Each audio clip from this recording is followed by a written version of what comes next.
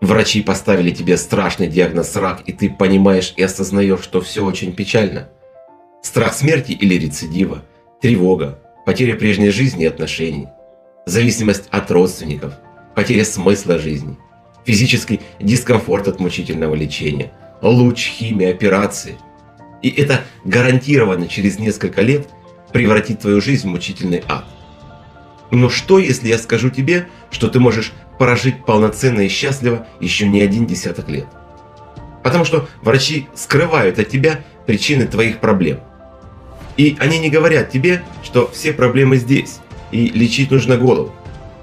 Если хочешь одержать главную победу в своей жизни и избавиться от страшной болезни, которая съедает тебя изнутри, тогда жми подробнее и записывайся на консультацию. Ссылка для записи будет в описании к этому видео.